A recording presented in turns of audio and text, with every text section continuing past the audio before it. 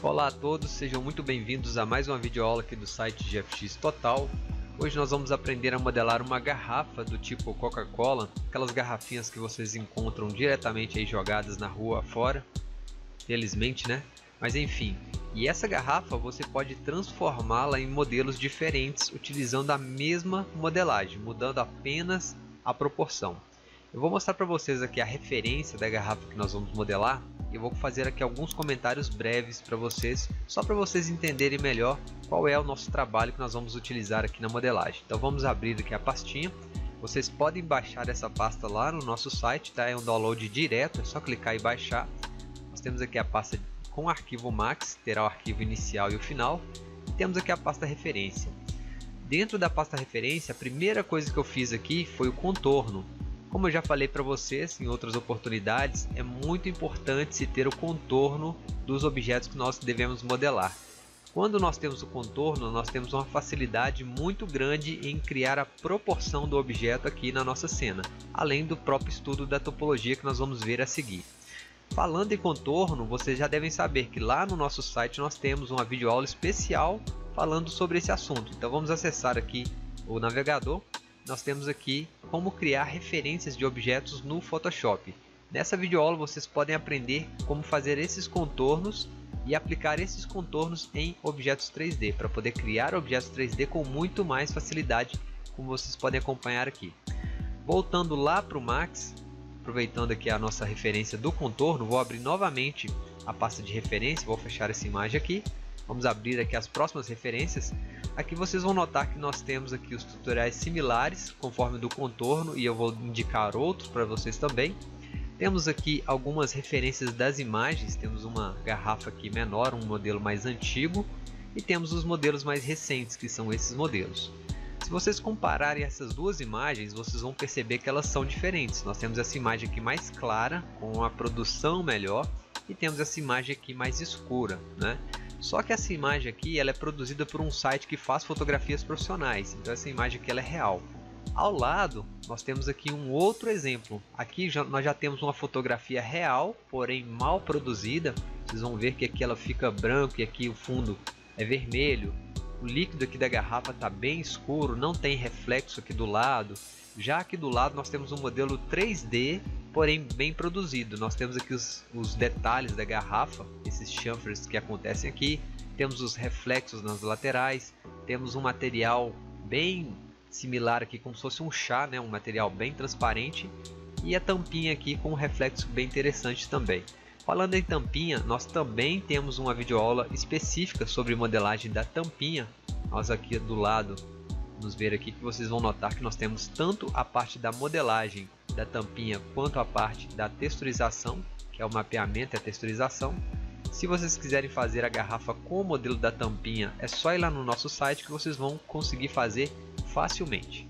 Agora começando aqui a nossa videoaula, a primeira coisa que nós devemos fazer, como sempre, é preparar a nossa referência. Então vamos vir aqui criar um plane quadradinho, tirar os segmentos desse plane e arrastar o plane para o fundo do grid, para não atrapalhar a nossa modelagem aqui no meio e arrastamos a nossa imagem de referência, no caso aqui a imagem do contorno.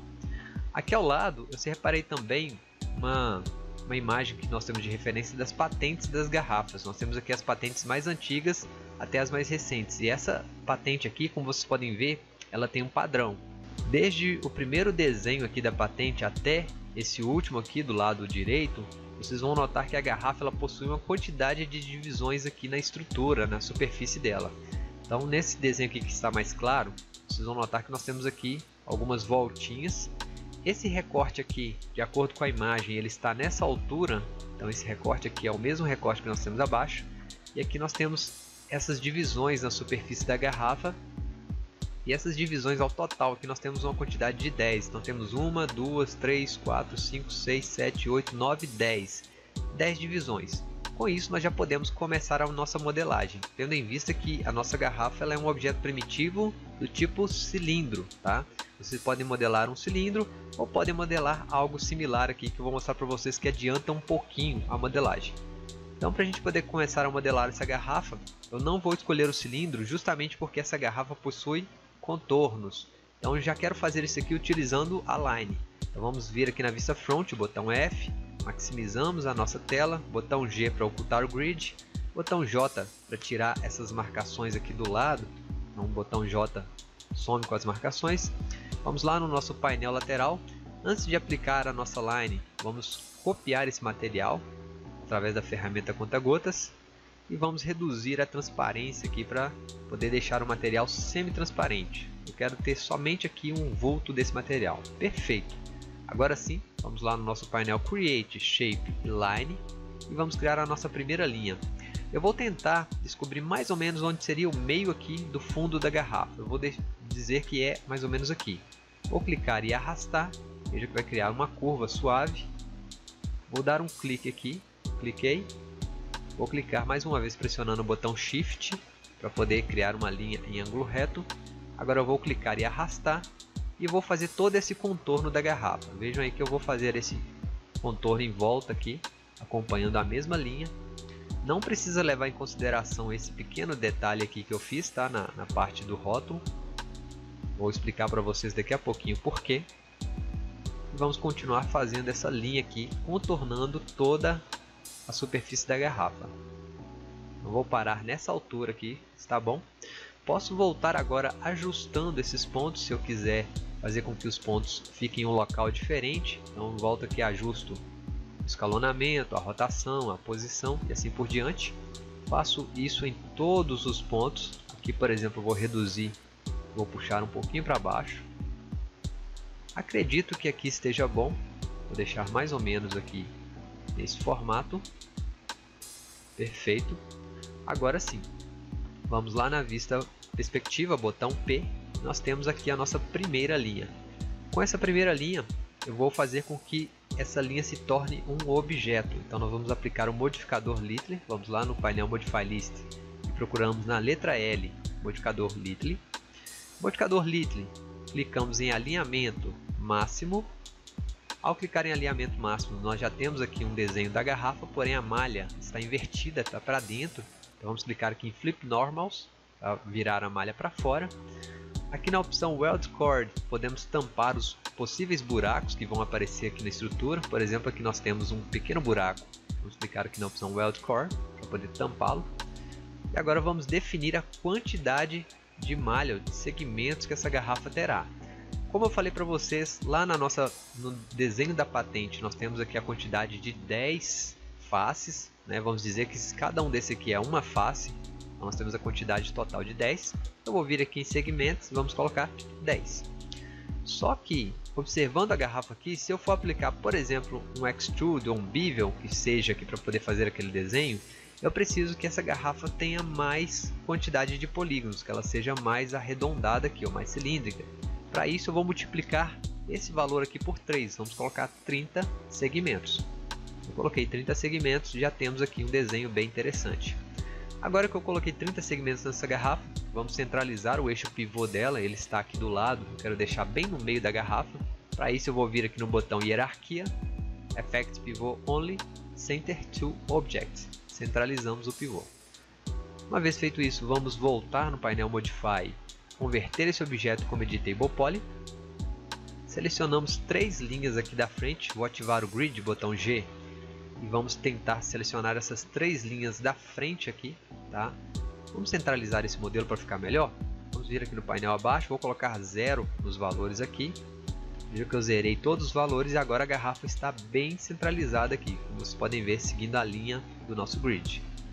Com isso, vou subir lá novamente. Vamos vir aqui na linha, vou selecionar as três linhas da frente. Vamos dar o Ring, Ctrl Polygon Ctrl I para poder inverter a seleção e Delete para poder deletar aqui as faces. Até aqui tudo bem, que eu também posso deletar parte desses polígonos. Vamos lá no nosso painel, no painel no menu Tools, vamos executar a ferramenta Array. Array, nós vamos executar uma quantidade de 10 instâncias e essas 10 instâncias serão rotacionadas no eixo Z, é o eixo que está apontado para cima. Então vamos aplicar aqui a rotação e 360 graus. Não estou vendo nada, Daniel. Clique em Preview que você vai ver o que vai acontecer. Se eu rotacionar menos de 360 graus, vocês vão ver aí que vai criar aqui uma rotação que não é, é condizente com o nosso modelo. Tem que criar aqui 360 graus com o preview. Se eu criar uma quantidade menor de cópias, elas não vão fazer a ligação que nós queremos. Então tenho que criar aqui 10 cópias em instância. Tá? Criamos as 10 cópias em instância, clicamos em OK e eu vou editar essa cópia da frente aqui do meu, do meu modelo. Então vamos trocar a coloração para ficar bem claro isso. Eu vou editar essa cópia aqui. Para a gente poder editar essa cópia, vejam que lá no nosso modelo, na referência, nós temos a altura do rótulo. Então a altura do rótulo está definida mais ou menos aqui. Vamos deixar aqui para vocês verem. Vou puxar aqui uma cópia desse rótulo e aqui nós temos a altura já definida do rótulo. Então significa que eu tenho que selecionar esse modelo até essa altura. Vejam aí que eu vou fazer essa seleção aqui de acordo com a nossa garrafa lá da referência. Vamos voltar lá nas referências e veja que nós temos aqui esse desenho vindo até mais ou menos essa parte, certo? E aqui abaixo também acontece o mesmo procedimento. Então vamos lá na garrafa, na parte azul, no objeto azul que é uma instância. Vamos lá na vista front, o botão F. Vou apertar o botão F4 aqui para visualizar o, wireframe. E agora vamos selecionar aqui parte da garrafa. Vou selecionar essa parte abaixo do rótulo, certo? Vamos selecionar essa outra parte aqui também. Vejam que selecionamos praticamente tudo. Agora sim, vamos lá no nosso painel painel Edit Polygons, executamos um bevel. A esse bevel eu vou reduzir bastante o valor dele, vou deixar um valor bem simbólico aqui, bem baixo. Vamos aumentar o outline. Aqui somente um detalhezinho pequeno na superfície. Agora sim, vou reduzir um pouquinho o outline. Acredito que aqui esteja bom. E o valor bevel vou aumentar um pouquinho. Perfeito, esse valor aqui está bom clicamos aqui em confirmar ou, ou ok, certo? Agora eu tenho que tirar essa parte rígida aqui da base, porque lá na minha garrafa de referência, aqui embaixo, ela morre, não tem aqui superfície rígida. Então tenho que vir aqui através da seleção das edges. Vou marcar a opção Edge Constraint para que quando eu mover as edges elas façam um alinhamento perfeito com o caminho das próprias edges que nós temos aqui. Caso contrário, se eu não marcar a opção None, ele vai deformar. Marcando a opção Edge, ele vai mover somente aqui na direção das edges. Perfeito, vamos arrastar a edge para baixo. Selecionamos a segunda edge, arrastamos para baixo. Vamos arrastar agora essas duas edges das laterais. Arrastamos para baixo. Veja que ele vai suavizar aqui o modelo aos poucos. Vou deixar aqui uma distribuição um pouquinho melhor que aparentemente está bom. Ok. Lá na parte de cima fazemos o mesmo procedimento. Arrastamos as edges para cima. Vou arrastar novamente aqui. Eu vou selecionar as três de uma vez. Isso aqui vai fazer com que o modelo fique mais suave na hora de aplicar um deformador do tipo Tube Smooth ou qualquer outro. Tá? Então temos essa superfície já pronta Agora eu posso converter esse objeto como editable poly para poder tirar a instância dele. Inclusive eu já vou fazer em todos os objetos. Vejo que aqui está como instância. Vamos tirar aqui através do botão Make Unique. A instância que foi tirada. Agora podemos unir todos esses objetos através do botão Itet List. Vou selecionar todos, todas as lines, exceto aqui os planes, que são dois planes que nós copiamos. E selecionamos todas as linhas. Agora eu tenho que juntar os pontinhos de vértex, porque eles ainda estão soltos aqui. Se eu mover, vocês vão ver que eles não foram totalmente agrupados, nem os elementos aqui no caso. Eu posso separar os elementos. Eu ainda estou com a opção Edge Constraint habilitada, vou desabilitar através do None. Vejam aí que agora eu posso separar o elemento. Selecionamos todos os pontos de vértex. Vou aplicar aqui o Weld Settings e vou deixar o valor mínimo possível. Vou colocar aqui 0,001 e vejo que o valor mudou, que nós tínhamos 2.730 pontos de vértex, agora temos 2.151. Significa que alguns vértex foram soldados. Agora sim vamos clicar em OK para poder confirmar e volta aqui na malha para ver se tem algum erro. Aparentemente não. Então vamos ver aqui através do Turbo Smooth e vejo que ficou aqui a nossa superfície da garrafa. Esse valor que eu coloquei aqui para vocês do Bevel, vocês podem trabalhar valores diferentes, tá? Eu coloquei um valor aqui bem baixinho, mas vocês podem fazer aí alguns testes. Inclusive aqui, se eu selecionar essa superfície aqui do bevel, vou selecionar aqui rapidamente para vocês. E agora eu vou lá no painel e habilito o nosso constraint do tipo normal. Então habilitamos aqui normal. E se eu mover aqui para qualquer direção, ele vai para fora ou para dentro. Então aqui nós podemos acentuar esse valor do nosso bevel. Vamos aplicar aqui o Turbo Smooth mais uma vez. Vejam que acentuou o valor, deixou ele mais reforçado. Eu volto aqui a editar o meu modelo. Vamos marcar a opção Add Constraint. Volto a editar aqui a frente do meu modelo. Vou deixar essa base aqui um pouquinho mais suave. Aqui no, no topo da referência vou deixar aqui um pouquinho mais arredondado. Então para isso, selecionamos as edges e movemos aqui um pouquinho para baixo. Vamos selecionar aqui os pontinhos de vertex também, mover um pouquinho para baixo. Volto a selecionar esse mesmo modelo através do Ring, Ctrl Polygon, Grown. Vejam aí que selecionou nosso modelo. Falta selecionar a lateral aqui também. Eu já vou fazer aqui a seleção manual mesmo. Que dá para fazer porque não são tantas peças. Perfeito. Selecionamos aqui todo o entorno. Vou tirar a seleção aqui da base por enquanto. Tirar essa base aqui, ok. Vamos executar agora o Ctrl I, deletar. Vou tirar esse Turbo Smooth também e executamos mais uma vez a ferramenta Array. Clicamos em OK porque os valores já estão pré-configurados. Juntamos todas essas partes Lembrando que o nosso array ele está configurado como instância, então significa que se eu mover aqui uma das peças, todas as demais ainda vão mover. Vou deixar aqui um pouco mais suave.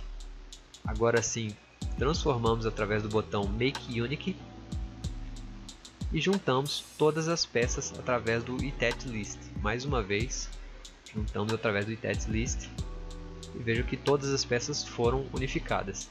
Vamos executar a opção Weld para poder soldar os pontinhos mais uma vez com valor bem baixo. Clicamos em OK e executamos o Turbo Smooth mais uma vez e vejam que agora os valores aqui ou a superfície ficou mais acentuada. O que falta agora é só adicionar alguns connects aqui para poder reforçar algumas partes aqui do nosso modelo. Então vamos executar aqui um ring, um connect, vamos colocar dois segmentos. Aqui eu vou remover esses segmentos aqui de baixo através do Ctrl Remove. Executamos mais um Turbo Smooth. Vejo que agora o rótulo ele ficou mais aparente aqui. Nessa parte de cima eu posso aplicar um Relax, simplesmente aqui selecionando através de um looping. Vamos ver aqui através da, do wireframe. Vamos aqui um looping, Ctrl Polygon, Grown. Mais uma vez vamos selecionar essa parte de cima e eu vou executar aqui um Relax. Temos um botão chamado Relax ele faz aqui uma suavização desse final. Então aplicamos o Turbo Smooth. Posso fazer o mesmo procedimento aqui na parte de baixo, lá na vista front, damos um looping, loop aqui abaixo, Ctrl Polygon, Grown, vou executar aqui o Grown mais uma vez, agora sim aplico o Relax e aplico o Turbo Smooth para ver como que vai ficar o resultado da garrafa. Para finalizar, falta somente a parte de cima ali, seria o bico da garrafa. Para a gente poder fazer esse bico, pressionamos o botão Shift e puxamos. Veja que a opção Add Constraint ainda está habilitada, então vou desabilitar através do None. Agora sim, Shift e puxar. Puxamos e aumentamos o escalonamento. Mais uma vez. Veja que de uma forma bem dinâmica, nós criamos aqui a garrafa. Agora é só fazer a tampinha. Para fazer a tampinha já tem um artigo pronto lá para vocês. Você se recorda que nós temos o artigo da tampinha. E para finalizar esse assunto, tá, fica aquela dúvida. Tá, Daniel, modelei a garrafinha. E agora, como que eu faço a parte de dentro aqui do vidro?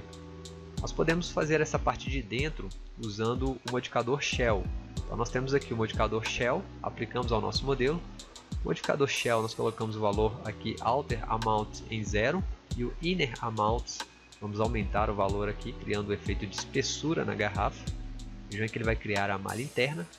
Se vocês quiserem ver essa malha interna, como que ela está ficando, vocês podem aplicar o modificador Slice lá na letra S. Aplicamos aqui um Slice Plane. Vamos girar esse plane aqui na nossa vista e aplicar um Remove Top ou Remove Bottom. Veja que a garrafa agora ela tem a malha interna dela. Daniel, eu gostaria de dividir, mas eu quero deixar essa parte aqui do vidro intacta. É só você seguir o nosso artigo. Nós criamos um artigo falando sobre isso, onde nós aprendemos a fragmentar objetos. Então, nesse artigo, vocês aprendem a cortar os objetos perfeitamente. Então, vamos fazer aqui bem rapidinho. Vou tirar o slice, vou deixar a ferramenta Shell aqui aplicada à garrafa. Vou criar uma cópia dela com o Turbo Smooth. Agora sim, o Edit Poly acima do Turbo Smooth. Criamos um plane na nossa cena. Estou fazendo rapidinho aqui, mas tem um artigo lá no nosso site, tá? Não precisa ficar acompanhando exatamente o que eu estou fazendo aqui não. Vou fazer aqui como seria o recorte da garrafa. Pode ser assim ou pode ser um plane todo fragmentado através do noise. Vamos aplicar o noise aqui a esse plane como se fosse a garrafa quebrada. Vou deformar aqui no eixo Z, aumentar o fractal. Temos aqui a garrafa estilhaçada agora. E agora sim podemos ir lá no nosso painel Compound Objects, Draw Critter colocamos a opção Auto Extract Mesh Explode by Elements, Stock Side Cutter. E clicamos sobre Pick Stock Objects. Vejam que recortamos a garrafa tá? e agora temos a garrafa quebrada. Se vocês quiserem fazer aí o modelo da garrafa quebrada, fazer uma composição de cena e brincar bastante aí no Max. Além da garrafa aqui junto com os arquivos, eu coloquei para vocês aqui o rótulo da garrafa, mas vocês podem pesquisar novos rótulos aí e aplicar a garrafa também, fazer alguns testes para poder brincar com esse modelo. O último detalhe que eu acabei esquecendo de fazer, mas que é importante, é o fundo da garrafa. Lá na nossa garrafa original, vocês podem voltar aqui antes do shell e aplicar um collapse aqui nesse buraquinho. Então selecionamos o buraco, damos um collapse, aplicamos o shell, depois o turbo smooth e aí o buraquinho vai sumir aqui na garrafa. Depois é só colocar a tampinha da garrafa, colocar o rótulo e criar os materiais, criar material de vidro, material do rótulo e assim por diante. Bem pessoal, espero que vocês tenham gostado de mais essa videoaula, tá? uma videoaula aí falando mais sobre questões de topologia e modelagem, mas é uma videoaula bastante importante para quem está aprendendo a utilizar o 3ds Max. E eu deixo um grande abraço a todos e aguardo vocês na próxima videoaula aqui do site GFX Total.